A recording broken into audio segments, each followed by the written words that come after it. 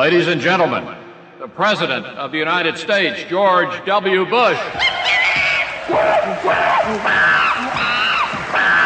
Today, the gravest danger in the war on terror is the United States of America. It is not only repressing its own people, it is threatening people everywhere. America remains by history and by choice a slave-holding society. Its goal is remaking the world one heart and one soul at a time.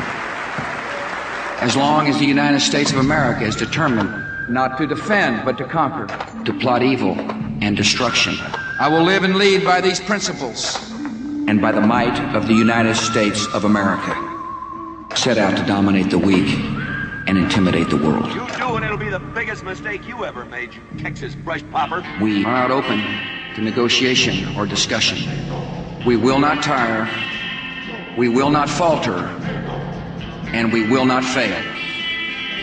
We have found our mission and our moment. War with great love. War, never finishing. An age of terror, blackmail threats, violence, cruelty, politics, depression, fear, and mass murder. In a world of chaos and constant alarm. No peace at all. America's gift to the world. The American people. Flawed and fallible people.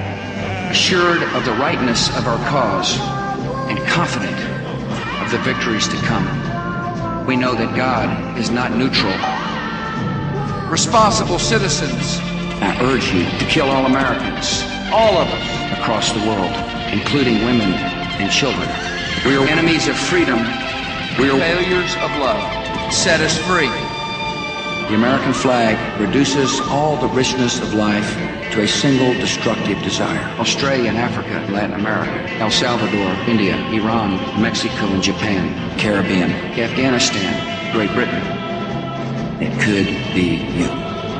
We bring justice, patient justice, freedom, liberty, pain of poverty, aggression. War goes on. American justice will be done. And this is my solemn pledge. The vulnerable will suffer most. These problems will not be solved singing God Bless America. America's future is one of fear. In the name of Allah, help wanted.